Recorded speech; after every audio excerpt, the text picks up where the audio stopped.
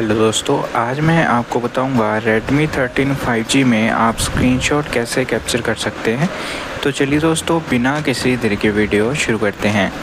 तो इसके लिए आपको सबसे पहले वॉल्यूम डाउन बटन जिस बटन से हम फ़ोन की वॉल्यूम या फिर आवाज़ कम करते हैं, और पावर बटन जिस बटन से हम फ़ोन को स्विच ऑफ़ या फिर फ़ोन की स्क्रीन को ऑन ऑफ़ करते हैं। इन दोनों बटन्स को एक साथ प्रेस करके रखना है और स्क्रीनशॉट कैप्चर हो जाएगा। चलिए मैं आपको करके दिखा देता हूँ। ये मैंने वॉल्यूम, डाउन और पावर बटन दोनों को एक साथ प्रेस करके रखा। तो आप देख सकते हैं दोस्तों, स्क्रीनशॉट कैप्चर हो चुका है। तो अब मैं आपको इसके दूसरे तरीके के बारे में बता देता हूँ। तो इसके लिए आपको अपनी तीनों उंगलियों को एक साथ ऊपर से नीचे की ओर स्वाइप करना है।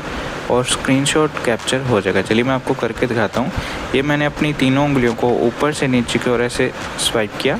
आप देख सकते हैं दोस्तों स्क्रीनशॉट कैप्चर हो गया।